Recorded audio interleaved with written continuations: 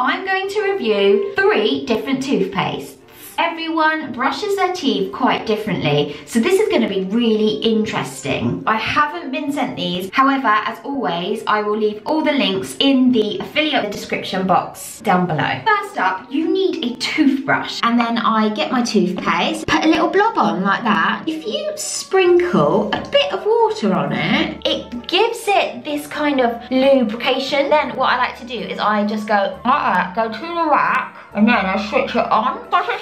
You just leave it there. You got, you got to go over the sink in case you dribble. There it goes, you just let it do its thing. It's like eating an apple with some mint, like a cocktail. It's like having a mojito.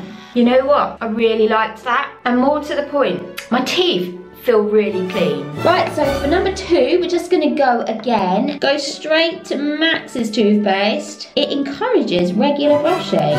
We'll see, Punch and Judy. Let's put you to the test. You do exactly the same as you did before. Oh, I like it. It's like eating Haribo. But like you're brushing your teeth. I don't know why Max picks up such a fuss and I want to wash his teeth. I want to do all the time with this for my toothpaste. That was number two, the strawberry flavour.